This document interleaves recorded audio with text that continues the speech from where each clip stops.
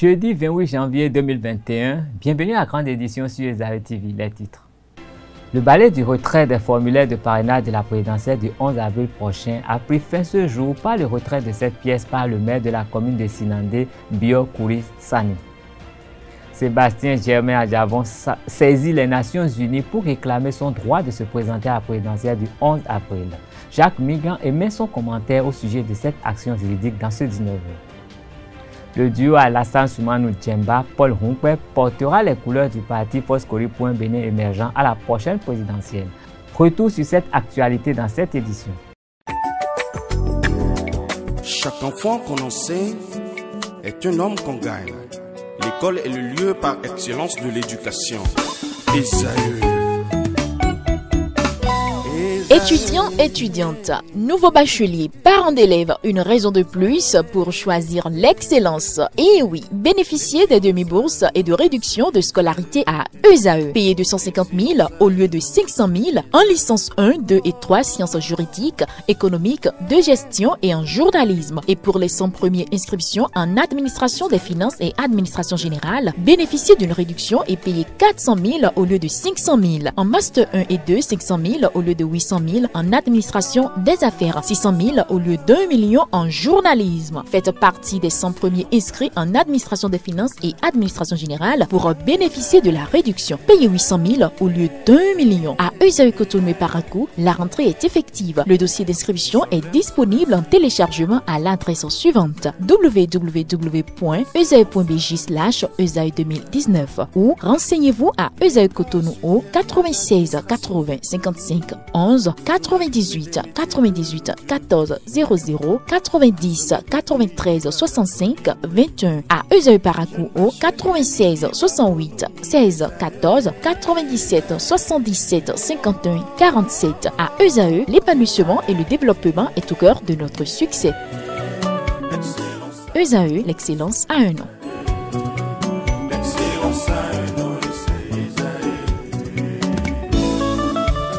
La rumba, c'est la musique des sages. Et Esaü, c'est l'école des sages.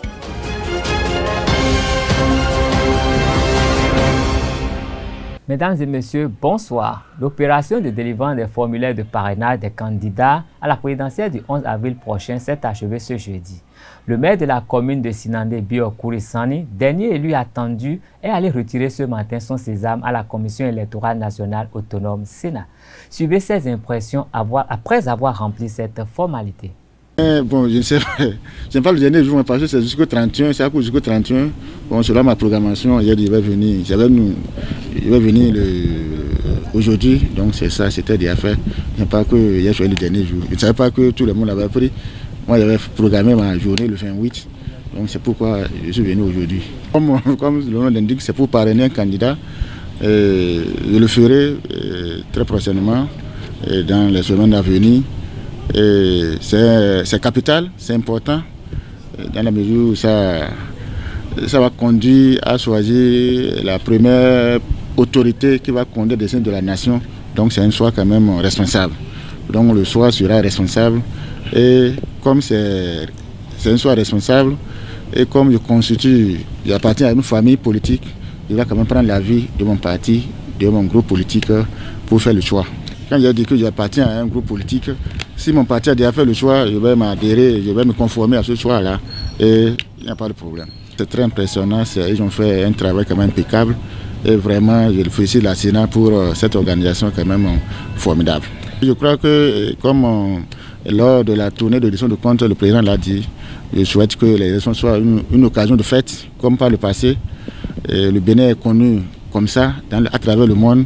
Je crois que ça sera réédité cette fois-ci et que j'invite mes populations, surtout celles de ma commune, de tout faire, de se conformer conformément aux, règles établies par rapport aux élections qui, vont commencer bientôt au Bénin et particulièrement dans ma commune. Donc il y a, y des comportements de paix et, de, quand même de discipline pour respecter les lois de la République. Les séances d'échange entre la Commission électorale nationale autonome Sénat et les acteurs impliqués dans le processus électoral a pris fin. Dans l'après-midi de ce mercredi 27 janvier 2021 par la rencontre avec les organisations de la société civile et des médias. En ouverture des travaux, la vice-présidente de l'institution électorale Geneviève Boukonadjo a exposé les objectifs et l'intérêt de la séance à ses interlocuteurs. Et pour permettre à ces acteurs privilégiés de jouer convenablement leur partition, Rufin Domingo et Marino de et Marino de Souza, deux cadres de la Sénat sous la direction de la vice-présidente Geneviève Bokonadjo, ont entretenu les participants sur le contenu du calendrier électoral et son niveau d'exécution, les pièces constitutives de la déclaration de candidature, leur rôle et la responsabilité dans le bon déroulement de la présidentielle du 11 avril prochain. À l'issue de la rencontre, le chargé de mission de la vice-présidence, Marino de Souza, a présenté la substance des échanges. Cette rencontre participe de la volonté de la Sénat de partager avec vous ce qu'elle fait, à quel niveau d'exécution de son calendrier elle se trouve et quelle contribution nous attendons de vous. La publication du calendrier électoral le 11 janvier 2021 amorce la mise en œuvre de l'ensemble des activités devant nous conduire au scrutin du 11 avril 2021. Il est par conséquent important pour nous de repréciser les termes de notre tacite collaboration en rappelant les rôles et responsabilités de chaque partie prenante et pourquoi pas de solliciter vos contributions pour améliorer ce que nous faisons. Ne dit-on pas habituellement que lorsque l'on est à la fenêtre, on ne se voit pas passer dans la rue? Je voudrais saisir cette opportunité pour vous rassurer, puisque nous parlons des ONG et des OSC, de ce que toutes les dispositions sont prises par la Sénat pour faciliter la délivrance des lettres d'accréditation à toutes les organisations requérantes, la mise à disposition des badges correspondant aux observateurs à déployer et la couverture médiatique de toutes nos activités électorales. Notre souci majeur, mesdames et messieurs, est d'organiser des élections électorales dans un climat de paix et de cohésion nationale, nonobstant la pandémie de Covid-19. À cet effet, toutes les dispositions seront prises afin d'assurer la sécurité sanitaire des électeurs. Pour terminer, il me plaît de vous remercier encore une fois de la collaboration qui a été de tout temps la vôtre. Parce que, quoi que l'on dise, les organisations de la société civile ainsi que les médias sont en quelque sorte la cheville ouvrière de tout ce qui concerne la rubrique communication et sensibilisation à l'endroit des populations. Sans vous, sans votre participation, mesdames et messieurs des OSC, des ONG, mesdames et messieurs les médias, on ne pourra pas avoir une participation de qualité aux élections. Le président Patrice Talon a reçu en audience ce jour le président de la Banque ouest-africaine de développement, Serge Ekoué, et sa délégation à son palais de la Marina. Une rencontre axée sur le renforcement des fonds propres de la BOAD et les possibilités de collaboration de la banque avec les PME et les PMI. Le président Serge Ekoué a profité de l'occasion pour remercier le chef de l'État pour l'avoir proposé et soutenu sa candidature à la tête de l'institution sous-régionale et pour lui présenter ses condoléances au lendemain du décès de son directeur de cabinet. Suivez un extrait de son intervention à sa sortie d'audience. Nous avons évoqué trois, trois, quatre grands sujets. Le premier, je me suis permis de lui présenter euh, mes condoléances en la qualité de président de la BOAD à titre plus personnel, suite au décès survenu hier euh, de son directeur de cabinet. Je comprends que le président de la République et son directeur de cabinet avaient des, des relations proches. Il était donc important que je présente euh, les condoléances au chef de l'État.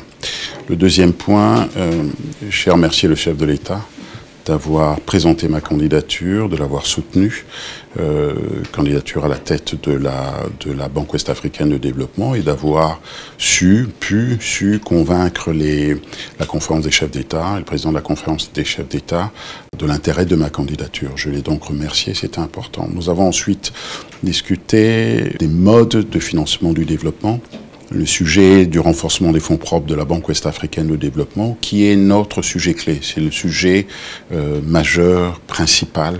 Il est important que la Banque ouest-africaine de développement soit mieux dotée en fonds propres et euh, une, une, colonne vertébrale plus solide, ce qui nous permettra de pouvoir aller lever des ressources beaucoup plus importantes sur les marchés financiers. Et je rappelle d'ailleurs qu'aujourd'hui, le, bilan de la Banque ouest-africaine de développement est, financé à hauteur de 70% par les marchés. Donc notre sujet, c'est le renforcement euh, des fonds propres. Et d'ailleurs, euh, le, chef de l'État a insisté sur le fait que c'était vraiment l'objectif numéro un euh, qu'il fallait que nous arrivions à remplir, à atteindre très vite. Et qu'une fois que nous aurions atteint cet objectif, euh, mis en ordre euh, la maison, nous soyons à nouveau disposés à discuter de sujets de développement avec lui. Et nous nous sommes engagés, bien évidemment, à nous revoir dès que cette mission, cet objectif ambitieux aura été réalisé. La coopération est excellente, vous le voyez bien. Nous sommes ici à la maison les choses se passent très bien, les choses sont très fluides. Il y a une osmose très forte, bien évidemment, entre la BOAD et la République du Bénin. Alors, les sujets portent essentiellement, s'agissant de la coopération, portent essentiellement sur les sujets d'infrastructure, euh, principalement sur le secteur souverain, mais il s'agit pour nous aujourd'hui, à la faveur du nouveau plan stratégique, de regarder ce que nous pouvons faire de plus et de mieux, également avec le secteur privé, les PME et les PMI. Maître Antoine Veil a saisi la Commission des droits de l'homme du Haut Commissariat des Nations Unies au fin de voir son client Sébastien Germain Adjavon prendre part à l'élection présidentielle du 11 avril 2021 au Bénin. Rappelons que Sébastien, Sébastien Germain Adjavon a été condamné à 20 ans de prison ferme par la Cour de répression des infractions économiques et du terrorisme CRIET dans une affaire de drogue. Pour mettre en lumière les implications juridiques de cet acte, Esae TV s'est rapproché de Maître Jacques Mingan, ancien bâtonnier et acteur politique, afin de recueillir son commentaire sur cette démarche entreprise par l'avocat conseil. Suivez ses impressions au micro de Abdelkader Achirou. J'ai lu sur les réseaux sociaux la saisine par les avocats de M. Adjavon, M. Adjavon qui aurait saisi le comité des droits de l'homme du Haut Commissariat des Nations Unies. Et la raison de cette saisine, c'est parce que la candidature de M. Adjavon ne serait point possible. C'est parce que M. Adjavon aurait été condamné à des fins politiques. Alors que tout le monde sait, monsieur le journaliste, que les condamnations qui ont été prononcées contre M. Adjavon portent d'une part sur le plan pénal pour trafic de stupes, de drogue, et d'autre part pour redressement fiscal, où il est demandé à M. Adiavon de payer à l'État béninois, il a été condamné à payer à l'État béninois la somme de 167 milliards de francs CFA. Quel est le rapport entre cette condamnation et la politique? Pour qu'on cherche à saisir le comité des droits de l'homme du Haut Commissariat des Nations Unies. Quel est le rapport? D'un côté, on parle du volet pénal, du volet fiscal, et de l'autre côté, on parle du volet politique. Le comité des droits de l'homme du Haut Commissariat des Nations Unies est un comité qui est composé de 18 experts. Je dis bien de 18 experts il ne s'agit pas d'une juridiction. Ce n'est pas une juridiction, c'est des experts qui donnent des avis et qui font des recommandations. Et les pays membres de l'ONU peuvent se servir de ces recommandations, de ces avis, pour améliorer leur droit, leur démocratie, la promotion des droits de l'homme, qui est une quête perpétuelle pour chaque pays, pour tous les pays. Donc, en saisissant le comité des droits de l'homme du Haut Commissaire des Nations Unies, ce qu'il faudra voir à travers cette saisine, c'est qu'on veut plutôt décribiliser l'image du Bénin. À deux mois, deux semaines des élections présidentielles du 11 avril 2021. C'est tout. Et c'est fort de ça que nous demandons à l'opinion nationale, à l'opinion internationale de comprendre que cette saisine, demain, qu'on ne dise pas que c'est le Conseil de sécurité de l'ONU, qu'on ne dise pas demain que c'est le Conseil des droits de l'homme des Nations Unies, qu'on ne dise pas demain que c'est les Nations Unies qui ont enjoint au Bénin de dire ceci ou de faire cela. Nous voyons déjà là où ils veulent en venir, comme ils ont eu à le faire au niveau de la Cour africaine des droits de l'homme. On sait comment ils entreprennent. Les responsables en charge de dire, nous l'avions déjà vécu plusieurs fois avec la Cour africaine des droits de l'homme, ce que dira le comité des droits de l'homme ne s'imposerait pas au Bénin puisque leur décision n'aurait pas de force contraignante. Donc je voudrais que les gens le sachent. C'est très important. Et ça ne va pas s'imposer à mon pays où la démocratie joue pleinement son rôle. Et la démocratie joue son rôle, et ce, qui m'amène à demander à M. Aguavon s'il veut être candidat. Il n'a qu'à déposer son dossier à la Sénat. La date est connue. Il fait sa déclaration de candidature entre le 1er et le 4. Jusqu'à nouvel ordre, je ne crois pas que quelqu'un au niveau du gouvernement, au niveau de l'Assemblée, au niveau de la Cour constitutionnelle, au niveau des autres institutions de la République, je n'ai jamais entendu dire que M. Adjavon est interdit de candidature au Bénin. S'il remplit les conditions prévues par l'article 44 de la Constitution et les articles du Code électoral en matière de dépôt de candidature, il serait candidat. S'il ne remplit pas ces conditions, il n'a pas besoin de saisir le comité des droits de l'homme du Haut Commissariat des Nations Unies.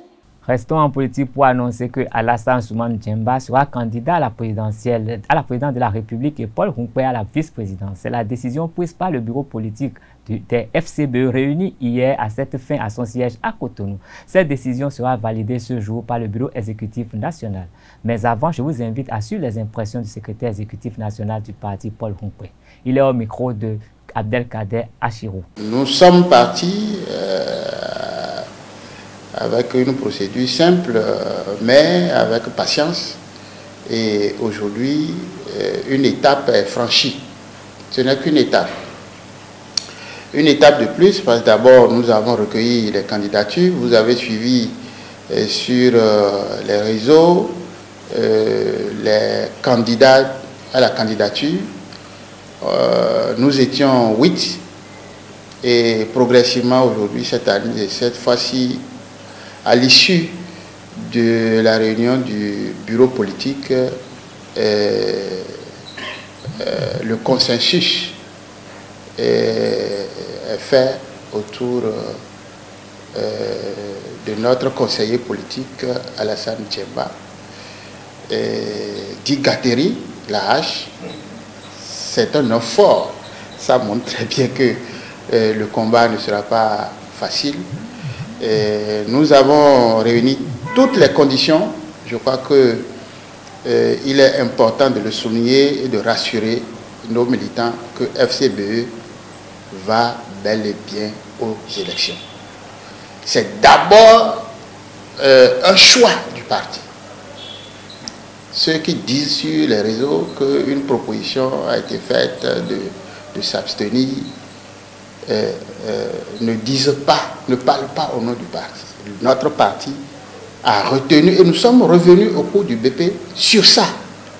Est-ce que nous allons aux élections Est-ce que nous continuons ce choix-là? Je crois que ça, tous les membres du BP ont réitéré euh, la volonté de voir notre parti aller à ces élections. Et donc, un duo est en train d'être dégagé. Je dis c'est une étape le, duo retenu sera proposé au BEN demain pour validation.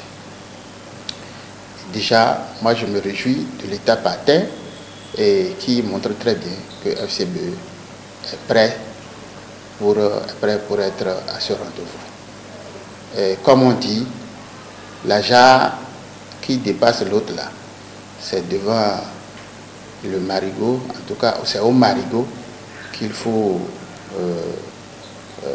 la mesurer, oui ou non?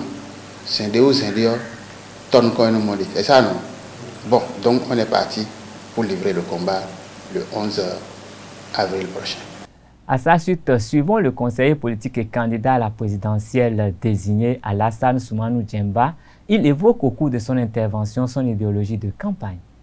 C'est avec euh, un réel plaisir que j'ai accepté cette mission et je l'assume parce qu'il est question pour moi de diriger la force Corée pour un Bénin émergent hein, pour une victoire certaine, le 11 avril.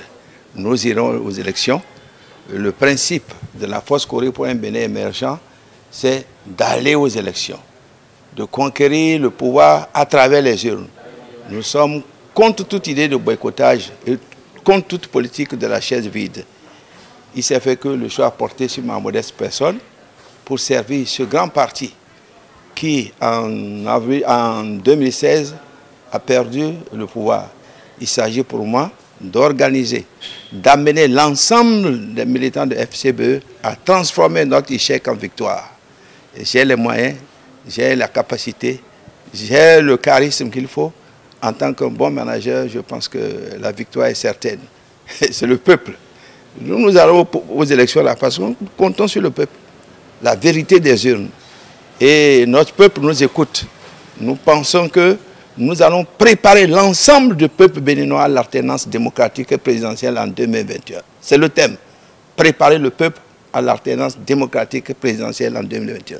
Cela est possible parce que quand nous écoutons le peuple béninois, quand nous écoutons les populations de gauche à droite, nous pensons que nos populations nous interpellent. Et ils pensent que la force Corée pour un Bénin émergent peut être une alternative positive.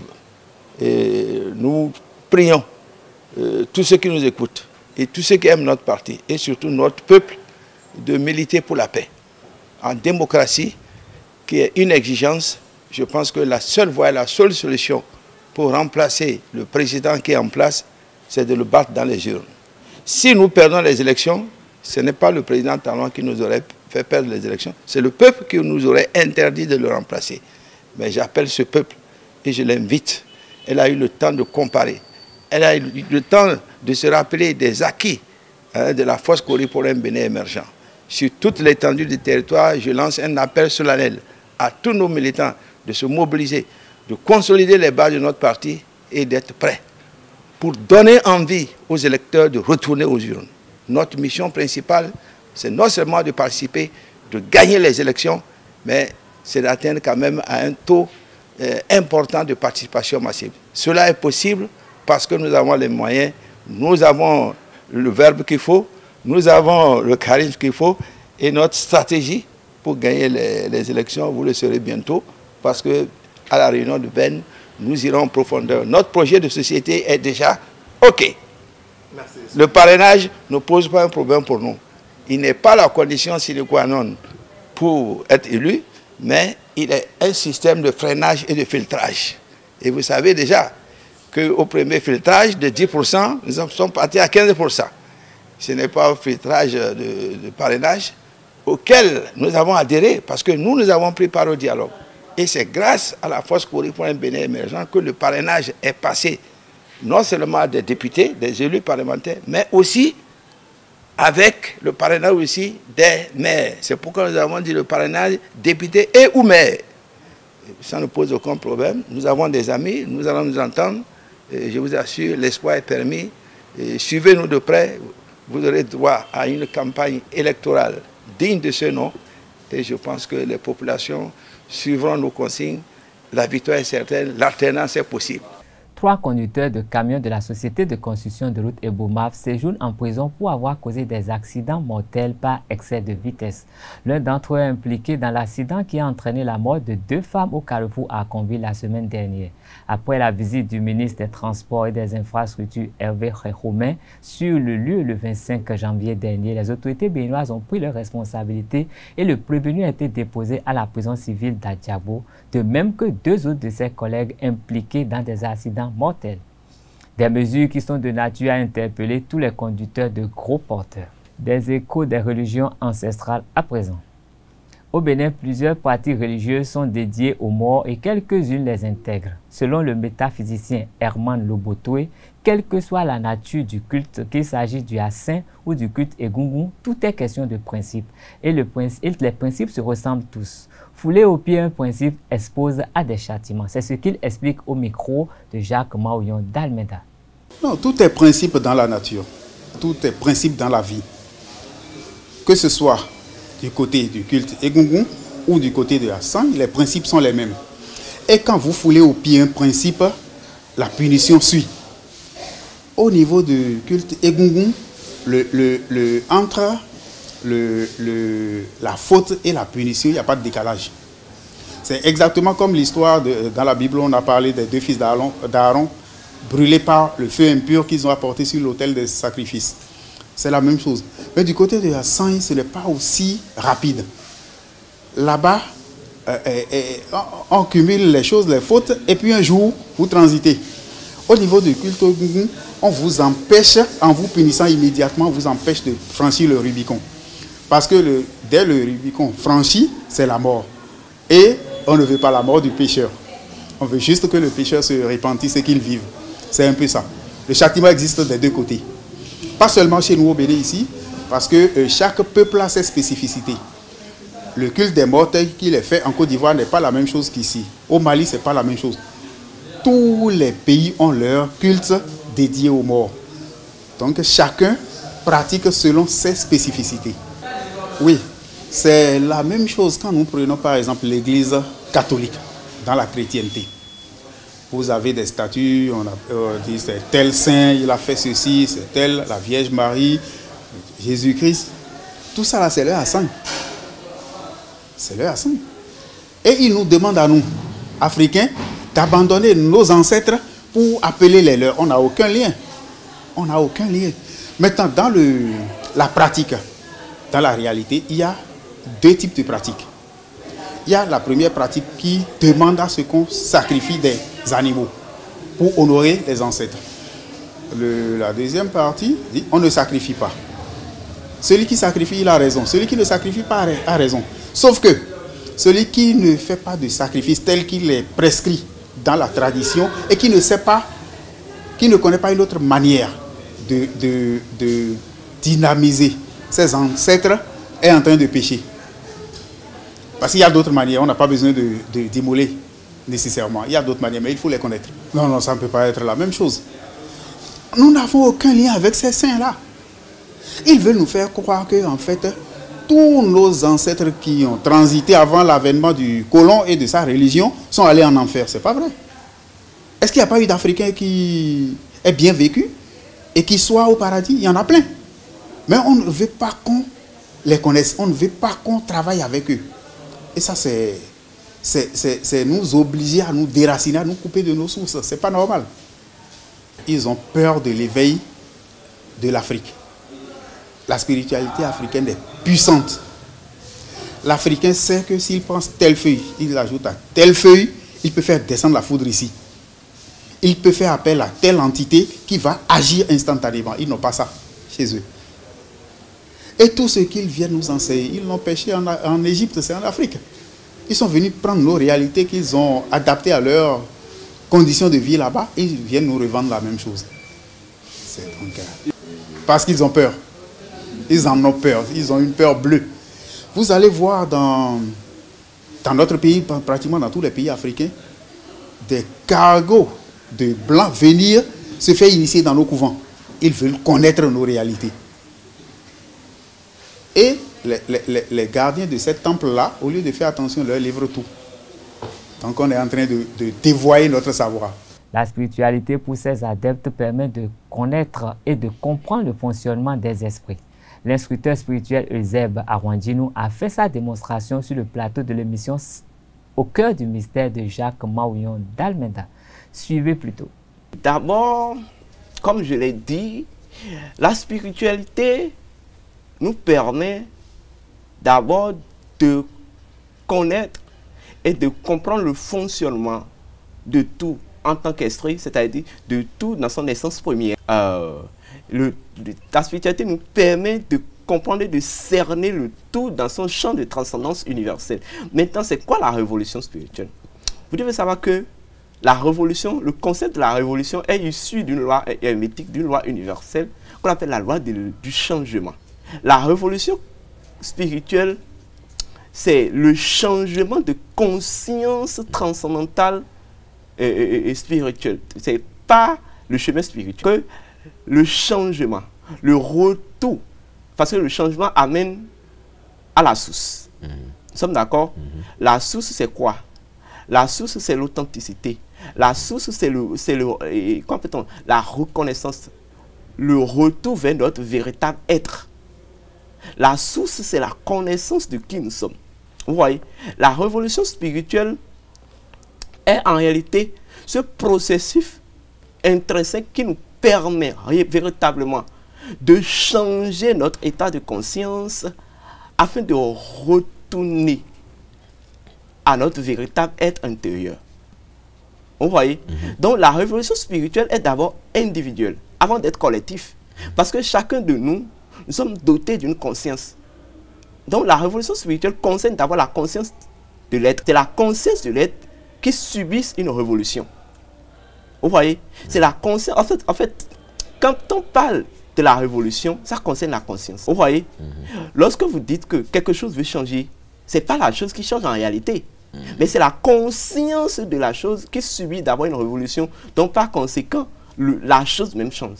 Donc, s'il n'y a pas une, une révolution de conscience, il n'y a pas un changement de conscience, il ne peut pas avoir un changement de quelque chose. Donc, la révolution passe d'abord, la révolution spirituelle, la révolution spirituelle passe par le changement d'état de conscience de quelque chose. Vous voyez? Mhm. Donc, simplement, gardons que la révolution spirituelle, c'est le retour à la source, le retour à notre véritable être, le retour à qui nous sommes, la, révélation de, votre, notre véritable nature intérieure. Parce que peu de personnes connaissent et savent qui ils sont véritablement. Alors la révolution spirituelle, c'est le retour à cette véritable nature-là. Donc c'est ça. Ainsi se referme cette édition. Merci de rester fidèle au programme de Zara TV. Gardez le réflexe www.zaratv.com. Bonsoir.